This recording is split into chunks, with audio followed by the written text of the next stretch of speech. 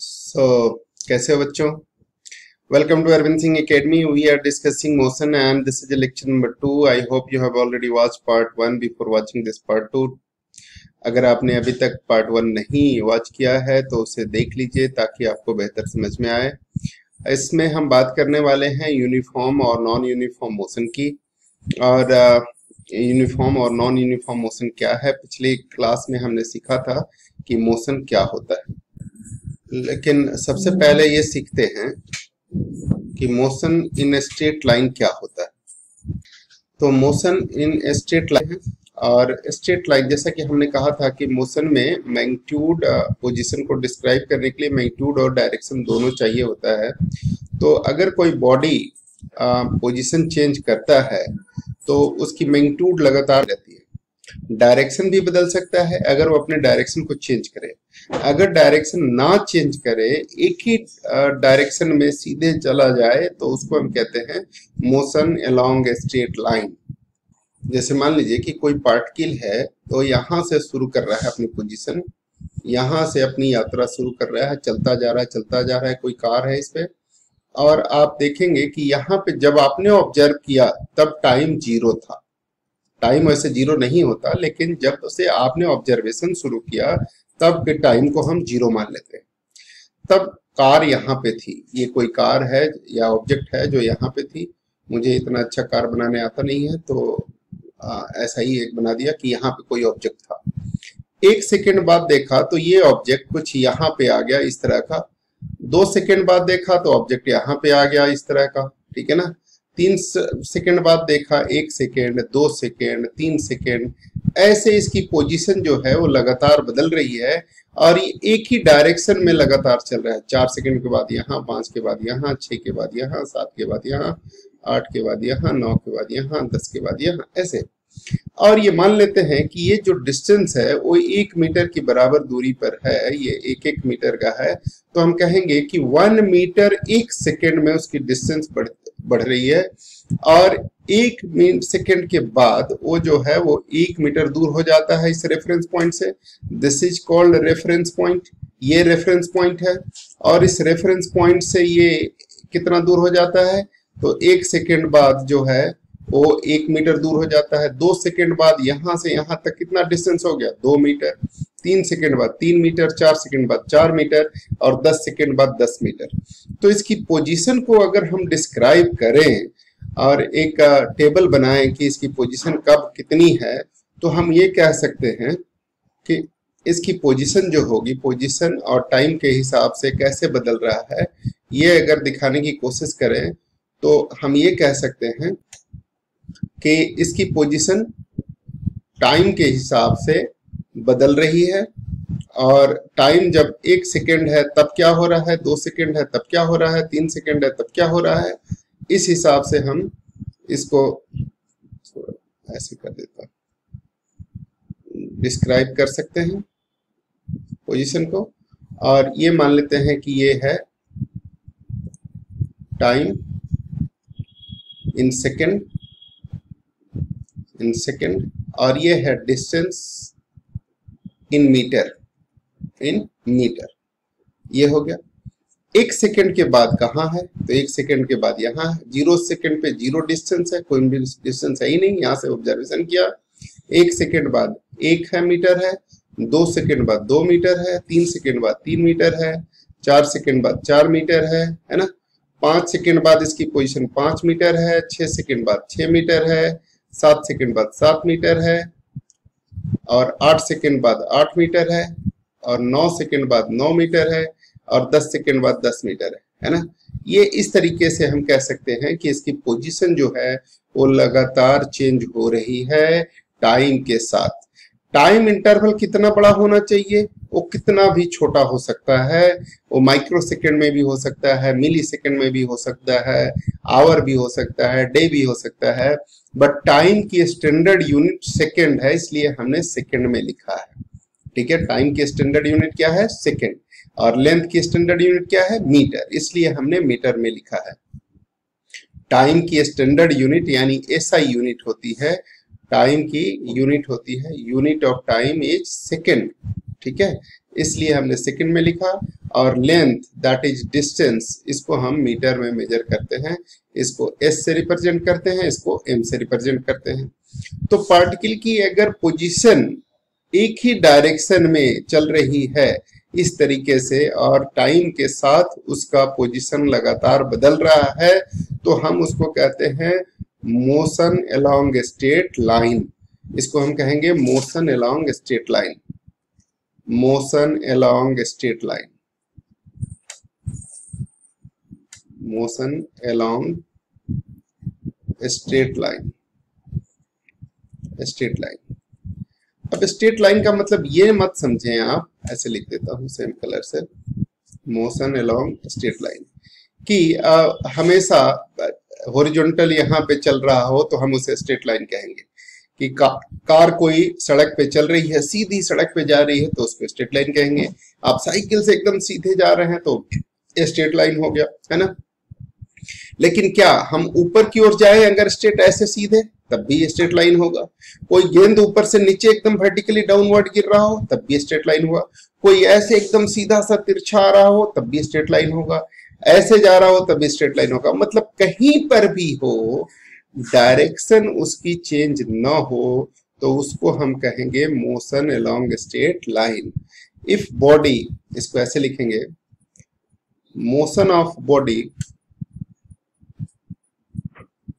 motion of body is said to be to be in a straight line straight line if its sense of motion sense of motion. That is direction. Doesn't changes changes with increasing time increasing time during motion. During motion so it is called motion along straight line ठीक है ना? ऐसा कुछ भी हो सकता है जो बिना डायरेक्शन चेंज किए चल रहा हो। For example body freely falling under gravity a body is dropped drop from certain height certain height its motion is along straight line. ये ऊपर से सीधे नीचे की ओर गिरेगा, ऐसे। है ना?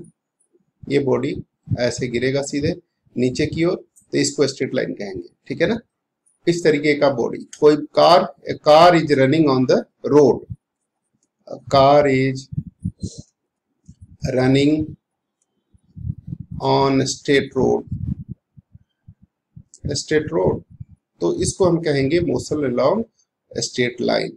ऐसे, यहाँ से सीधे ये कार इसी डायरेक्शन में चल रहा है तो भी ये स्ट्रेट लाइन हो गया। तो मोशन अलोंग स्ट्रेट लाइन, ये होगा जब when direction does not change when direction of motion direction of motion doesn't change not change ठीक है? तो हम उसे कहेंगे मोशन अलोंग स्ट्रेट लाइन ठीक है? अब जैसा कि मैंने कहा था कि हमें बात करनी है uniform and non uniform motion uniform motion and non uniform motion non uniform motion ये क्या है? मोशन में भी यूनिफॉर्म और नॉन यूनिफॉर्म हो सकता है? Yes yes. मोशन में भी नॉन यूनिफॉर्म और यूनिफॉर्म हो सकते हैं मोशन तो यूनिफॉर्म मोशन क्या है? नॉन यूनिफॉर्म मोशन क्या है? ये हमें सीखना है। ठीक है? तो सबसे पहले सीखते हैं यूनिफॉर्म मोशन क्या है। यूनिफॉर्म मोशन किसे कहेंगे? जैसा कि ऊपर में एग्ज़ाम्पल लिखा था, देखा था कि हर एक सेकेंड में एक मीटर की दूरी तय कर रहा था। यानी इक्वल डिस्टेंस चेंज हो रहा था in equal interval of time तो उस मोशन को हम यूनिफॉर्म मोशन कहेंगे। When a body changes its position with equal magnitude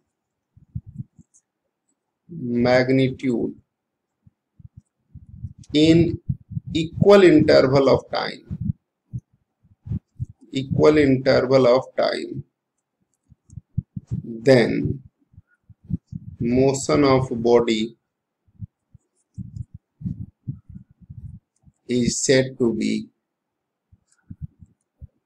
uniform motion uniform motion when body changes its position with equal magnitude that is equal distances travel in equal interval of time तो उसको हम uniform motion कहेंगे अब uniform motion along straight line भी हो सकता है और नहीं भी हो सकता है।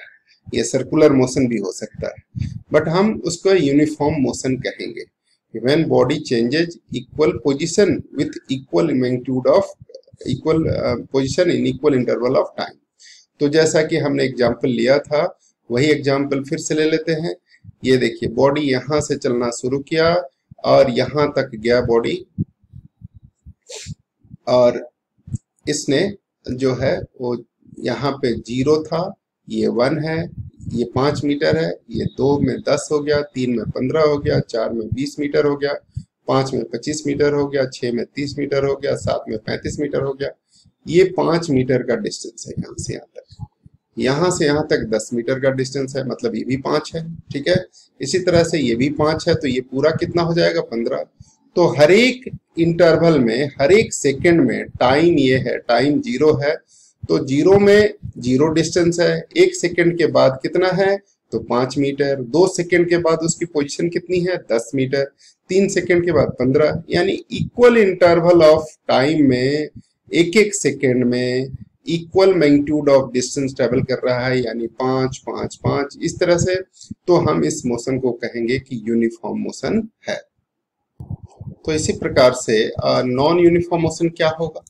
अब नॉन यूनिफ करें तो ऐसा कह सकते हैं non uniform motion uniform motion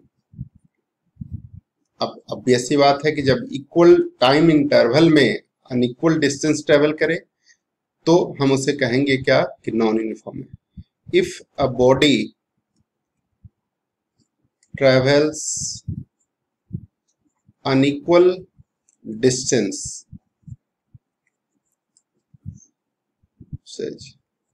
In equal interval of time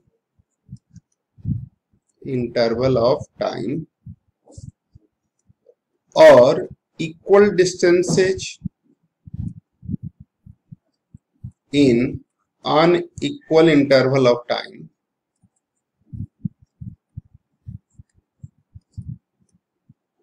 then motion of body is said to be, body is said to be non uniform इसको आप नोट कर लीजिए नॉन यूनिफॉर्म ठीक है ना? तब मोशन ऑफ़ बॉडी क्या कहलाएगा? नॉन यूनिफॉर्म ठीक है? मतलब कि अगर बॉडी ऐसे ट्रेवल करे और ये कह दें कि यहाँ से एक सेकेंड में बॉडी ने यहाँ पे टाइम ज़ीरो था ज़ीरो था। एक सेकेंड में पाँच मीटर की डिस्टेंस ट्रेवल किया।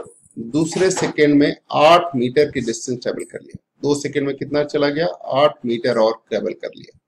तीसरे सेकेंड में सात मीटर ट्रेवल कर लिया। चौथे सेकेंड में दस मीटर की डिस्टेंस ट्रेवल कर लिया फिर, या छह मीटर की ट्रेवल कर लिया मान लीजिए। और पाँचवें सेकेंड में दस मीटर की डिस्टेंस ट्रेवल कर लिया, ऐसा कुछ।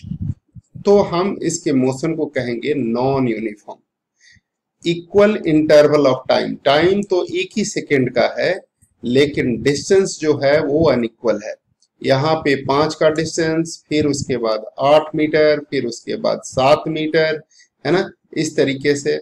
और फिर उसके बाद जो है छ मीटर, फिर दस मीटर, ऐसे डिस्टेंस ट्रेवल कर रहे हैं इक्वल इंटरवल ऑफ़ टाइम में अनइक्वल डिस्टेंस तो ऐसे में हम बॉडी की मोशन को क्या कहेंगे?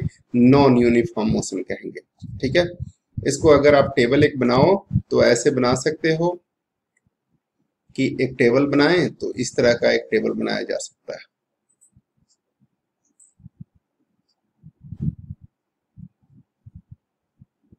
यही टेबल मान लेते हैं। ठीक है ना? तो इसमें भी आप चाहे इसको हटा देता हूँ।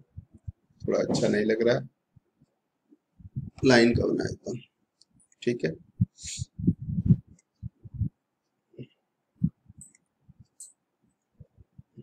ये देखिए। ये हम बना लें और इसमें ये कहें कि टाइम इंटरवल क्या है? टाइम इंटरवल जो है वो इक्वल है बट डिस्टेंस जो है वो क्या है? अनइक्वल है। तो यहाँ पे भी यही लिख देते हैं, ये टाइम इन सेकेंड ठीक है and distance in metre distance in metre तो इसके मोशन को हम कहेंगे, जैसे time T is equal to zero था तो डिस्टेंस ज़ीरो था टी वन था तो ये पाँच मीटर था टी दो था तो ये कितना डिस्टेंस ट्रेवल कर लिया, पाँच और आठ मिलकर के तेरह, ठीक है थर्टीन मीटर आ गया। और उसके बाद फिर तीन सेकंड बाद कहा चला गया? बीस मीटर। और चार सेकंड बाद फिर छब्बीस मीटर। और पाँच सेकंड बाद फिर कहाँ पे? तो पाँच सेकंड बाद ये छत्तीस मीटर की दूरी ट्रेवल कर लिया। तो इक्वल डिस्टेंस में ये पोजिशन फ्रॉम ओरिजिन हमने लिखा है।